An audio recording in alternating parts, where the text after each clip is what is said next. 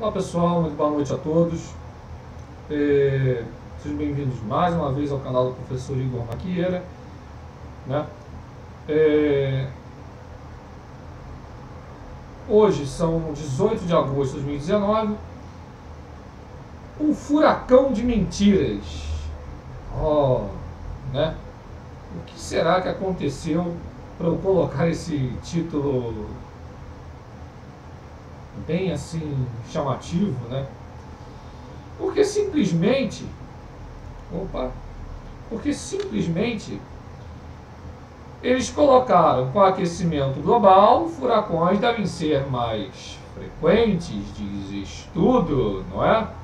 O estudo constatou o que, né? O estudo dos aximentistas. Ó, oh, furacões vão ficar mais frequentes. Mas aí né, tem um pequeno problema. Isso foi publicado no, no UOL no dia 28 de setembro de 2018, recente, né? Vai fazer quase um ano. Sendo um estudo recente né, constatou o seguinte: por exemplo, para o Vietnã, nenhuma das tendências meteorológicas, como está no, no gráfico abaixo, como frequência, pressão, velocidade do vento, a intensidade dessas tempestades, mostrou aumento ou diminuição significativa nas últimas quatro décadas. Né? Mas tal tendência não é só para o Vietnã, né? mas para todo o Pacífico. Né? Por exemplo, quando a gente compila os dados, né, as estatísticas sobre os tufões, por exemplo, no, no Japão, a gente vê claramente que eles não aumentaram significativamente, significativamente, desculpe. E o número de tufões que se formaram até diminuiu, como demonstra claramente no gráfico. Tá? É, lembrando que quer discutir, discute com a JMA, né? com, desde, com dados desde 1951 até 2018 e com a linha justamente demonstrando a, a queda aqui. Ó tá a linha aqui, ó. Tá? Ó, tá a linha aqui, ó. Mostrando a queda, tá? 51, 2018. Ora, professor, tem mais? Tá, tem mais. Né? É... Aqui é um é do Dr. É, Ryan, tá? Rian, aliás, né?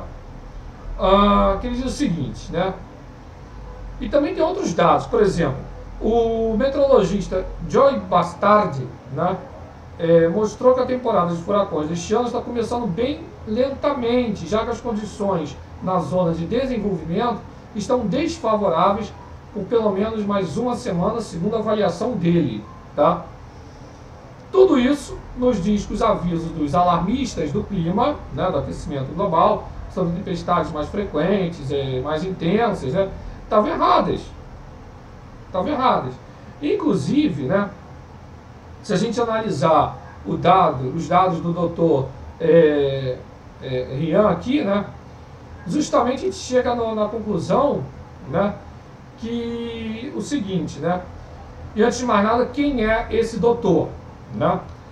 Ele é meteorologista, é, meteorologista, faz pesquisas, ele desenvolveu e manteve um popular mapa meteorológico no serviço de dados climáticos baseados nos melhores sistemas numéricos de previsão meteorológica do mundo.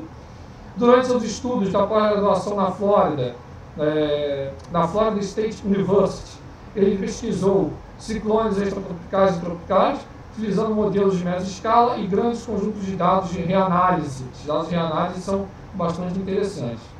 É, e publicou vários artigos revisados por pares Após seu pós-doutorado em 2010, é, Mauer foi premiado com uma associação de pós-doutorado no, no, National Research Council, no, no Naval Research Lab em Monterey, na Califórnia, onde se concentrou na previsão e verificação do clima global.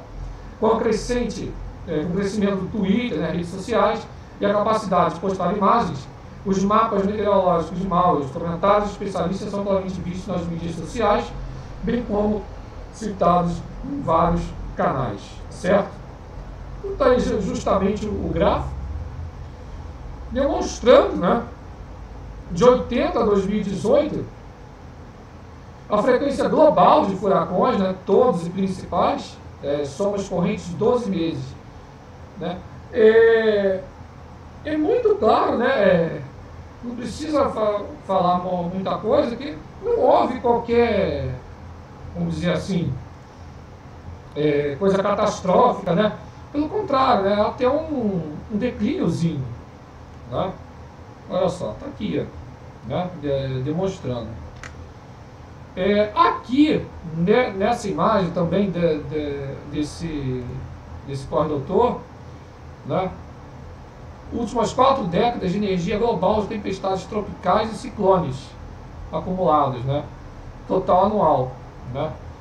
Ah, também, também não há assim é, qualquer alarmismo, né? Aqui global, tá certo? Aqui hemisfério norte, né? Hemisfério norte e aqui hemisfério sul, né? Então global, norte e sul, né? Não há qualquer alarmismo para é, ser é, citado né, para ser evocado. Né. Os dados estão aí para todos verem, né, com a devida descrição de todos, os devidos links, né, eu vou colocar na, na descrição também, certo?